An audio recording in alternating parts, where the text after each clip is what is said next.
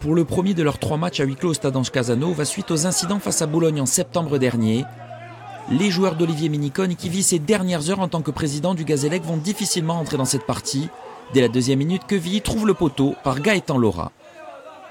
La réponse du Gazélec intervient par l'intermédiaire de ses attaquants, mais ni David Paulet ni Maxime Pélican ne trouvent le cadre. 0 à 0 à la pause. On a été plutôt, plutôt, plutôt solide, plutôt intéressant. Et puis j'ai, on a tenté un coup tactique aussi à un moment donné lorsqu'on était en infériorité. On est passé à 3 derrière. Au retour des vestiaires, les Rouges et Bleus vont ouvrir le score sur cette tête de Philippe. Une joie de courte durée car l'arbitre refuse le but pour une position de hors-jeu du capitaine ajaxien.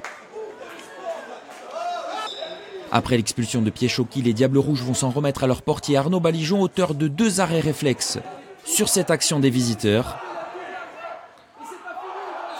Dans les arrêts de jeu, l'arbitre expulse sévèrement David Paulet. Le GFCA termine la partie à 9 et stoppe avec ce match nul sa série de trois défaites en championnat une équipe jeune qui manque d'expérience. Le plus important, c'est d'avoir une attitude collective euh, cohérente. C'est ce qu'on a cherché à faire depuis le début. C'est le cas, même si on vit une période très difficile. Toujours relégable, le Gazélec se déplacera à Créteil lors de la prochaine journée avec trois nouveaux joueurs absents.